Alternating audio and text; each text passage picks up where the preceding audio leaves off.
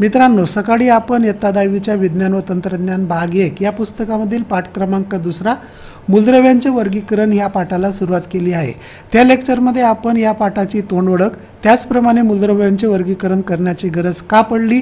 तसेच मूलद्रव्यांचे वर्गीकरण करण्यासाठी पुढे आलेले सर्वात पहिले शास्त्रज्ञ सर डोबे रायन यांचा आपण त्रिकांचा अभ्यास केलेला आहे. आणि आजच्या या लेक्चरमध्ये आपण फक्त आणि फक्त न्यूलँडचे अष्टकं समजून घेणार आहोत. सो बी फ्रँक फक्त व्हिडिओ हा व्यवस्थित मन लावून पूर्ण बघा. तुम्हाला खूप खूप फायदा होणार आहे. कारण ही आपली जी विश्वधरती आहे पूर्ण विश्व आहे हे कितीतरी वस्तूंनी बनलेलं आहे आणि हे सर्व वस्तू मूलद्रव्यांपासूनच बनलेल्या आहेत. मग हे एवढे महत्त्वाचे मूलद्रव्य रोल प्ले करतात या निसर्गामध्ये.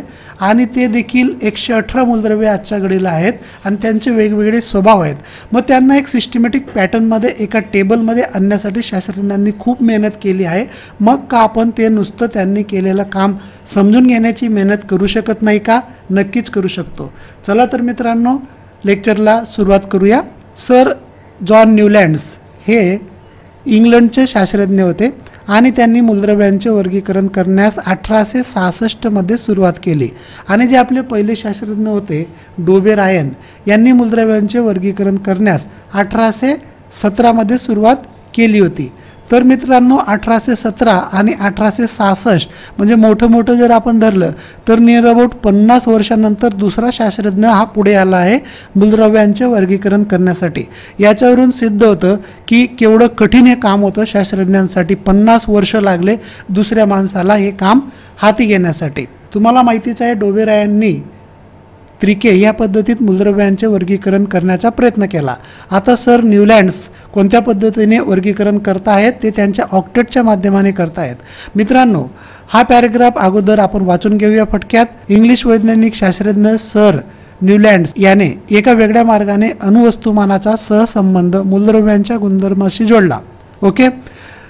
सन अठराशे सहासष्टमध्ये न्यूलंड्सने त्या काळी ज्ञात असलेली मूलद्रव्ये त्यांच्या अणुवस्तुमानाच्या चढत्या क्रमाने मांडली.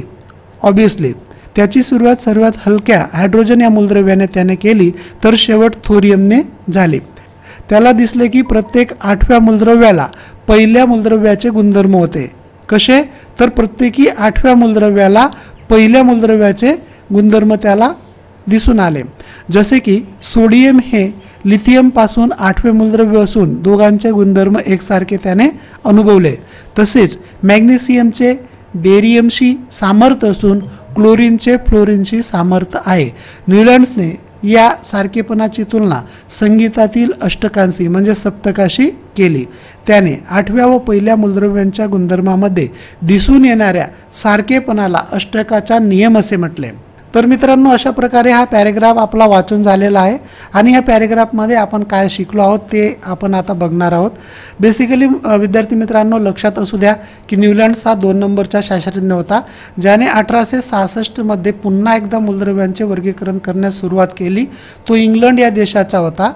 त्याचप्रमाणे त्याने एक वेगळ्या पद्धतीचा अवलंब इथे केलेला आहे ती म्हणजे ऑक्टेट पद्धत. आणि तुम्हाला सांगू इच्छितो ती अगदी त्याने जसं आपण संगीतामध्ये आपले सात स्वर आहेत. कोणते कोणते? तर सा रे ग म प ध नी आणि पुन्हा सा. म्हणजे सा रे ग म प ध नि सा. बरोबर?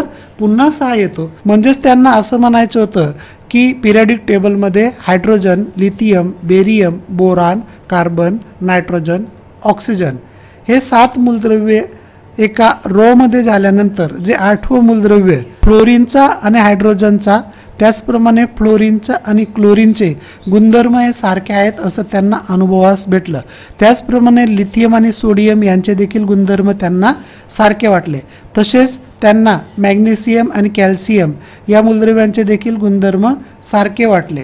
अशा प्रकारे त्यांनी असा अंदाज केला. आणि तो अंदाज फक्त संगीतातील जसे सात स्वर असतात आणि आठवा स्वर हा पुन्हा पहिला स्वरच असतो. त्याप्रमाणे पिरियडिक टेबलमध्ये देखील मांडणी करण्याची त्यांनी एक प्रयत्न केला.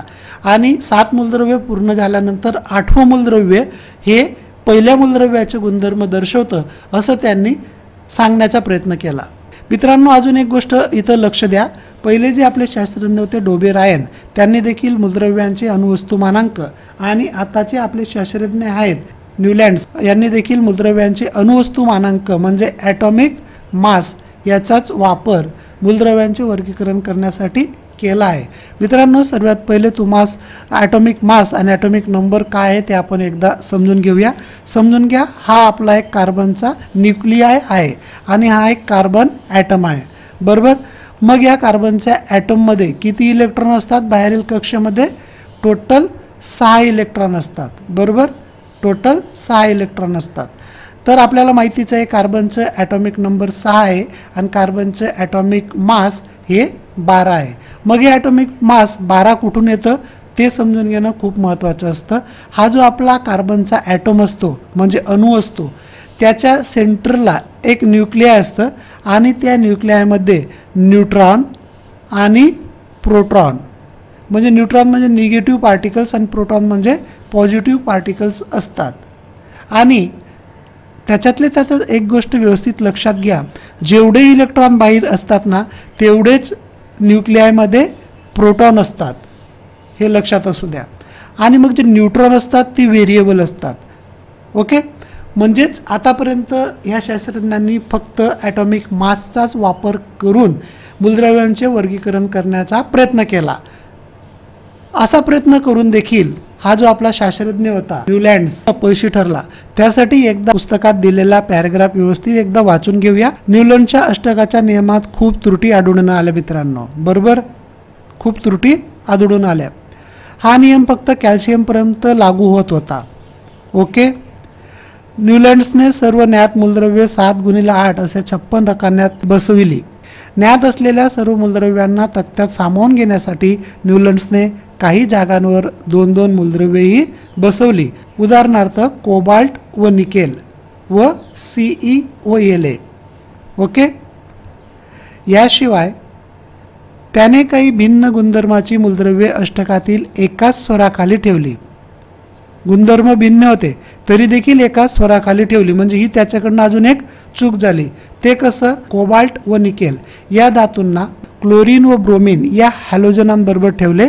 या उलट कोबाल्ट व निकेल यांच्याशी सामर्थ्य असलेला आयर्न या त्यांच्यापासून लांब ऑक्सिजन व सल्फर या अधातूंबरोबर टी म्हणजेच नी या स्वराखाली ठेवले. तसेच नव्याने शोध लागलेल्या मूलद्रव्यांना सामावून घेण्याची तरतूद न्यूलंडच्या अष्टकात नव्हती. काय नव्हती? नव्याने शोध लागलेल्या मूलद्रव्यांना सामावून घेण्याची कुवत देखील न्यूलंडच्या अष्टकात नव्हती. त्याचप्रमाणे पुढे आपण बघूत मित्रांनो नंतरच्या काळात शोध लागलेल्या नव्या मूलद्रव्यांचे गुणधर्म न्यूलंडच्या अष्टकाच्या नियमात बसले नाही. तशीच एक गोष्ट अजून लक्षात असू द्या जे आताच्या मॉडर्न पिरियडिक टेबलमध्ये अठरा गण आहेत म्हणजे कॉलम आहेत त्याच्यातली एक्स्ट्रीम अठरावा कॉलम हा नोबल गॅसेसचा आहे. त्याला देखील न्यूलंडच्या अष्टकामध्ये कुठेही जागा नव्हती. अशा प्रकारे बऱ्याच अंशी हा न्यूलंडच्या अष्टकाचा नियम हा फेल ठरलेला आहे आणि तो फक्त कॅल्शियम या मूलद्रव्यापर्यंत सक्सेस राहिलेला आहे. म्हणजे हे सात आणि सात दोन चौदा पंधरा सोळा सतरा मूलद्रव्यापर्यंत अष्टकांचा काही अंशी similarities as per the directions of Newland या शास्त्रज्ञानुसार सिद्ध झाले पण त्याच्या पुढचे इलेमेंट त्या अष्टकांच्या नियममध्ये बसले नाहीत. तर मित्रांनो न्यूलंडच्या अष्टकामध्ये कोणकोणत्या त्रुटी तुम्हास आढळून आल्या ते देखील तुम्हास परीक्षेत विचारलं जातं. तर त्या त्रुटी कोणकोणत्या होत्या? सर्वात पहिली त्रूट ज्ञात असलेल्या सर्व मूलद्रव्यांना तक्त्यात सामावून घेण्यासाठी न्यूलंड्सने जबरदस्तीने एकाच रकानात दोन दोन मूलद्रव्ये बसवली जसे की कोबाल्ट व निकेल. याशिवाय त्याने काही भिन्न गुणधर्माची मूलद्रव्ये जबरदस्तीने अष्टकातील एकाच स्वराखाली ठेवली. उदाहरणार्थ आपण बघितलंच आहे कोबाल्ट व निकेल हे धातू मूलद्रव्ये आहेत आणि त्यांना हॅलोजन फॅमिली म्हणजे क्लोरीन व ब्रोमिन यांच्याबरोबर ठेवले. पुढची गोष्ट आपणास सांगता येईल कोबाल्ट व निकेल यांच्याशी सामर्थ्य म्हणजे सारखेपणा असलेला आयन एपीला त्यांच्यापासून खूप लांब वेगळ्या टी या स्वरात ठेवले. तसेच नव्याने शोध लागलेल्या मूलद्रव्यांना सामावून घेण्याची क्षमता या ऑक्टेट या पद्धतीत नव्हती. तसेच नंतरच्या काळात शोध लागलेल्या नव्या मूलद्रव्यांचे गुणधर्म देखील न्यूलॉनच्या अष्टकाच्या नियमात बसत नव्हती. आणि अजून एक सांगता येईल आपल्याला हॅलोजन्स जे नोबल गॅसेस आहेत त्यांना देखील ह्या अष्टकात कुठेही प्लेसमेंट म्हणजे जागाही देता येत नाही. अशा प्रकारे मित्रांनो आजच्या लेक्चरमध्ये आपण न्यूलंडच्या अष्टकाचा नियम समजून घेण्याचा प्रयत्न केला आहे. आणि हा जो शास्त्रज्ञ आहे इंग्लंड शास्त्रज्ञ न्यूलँड्स हा देखील मूलद्रव्यांचे वर्गीकरण करण्यामध्ये बऱ्याऐंशी अपयशी ठरलेला आहे.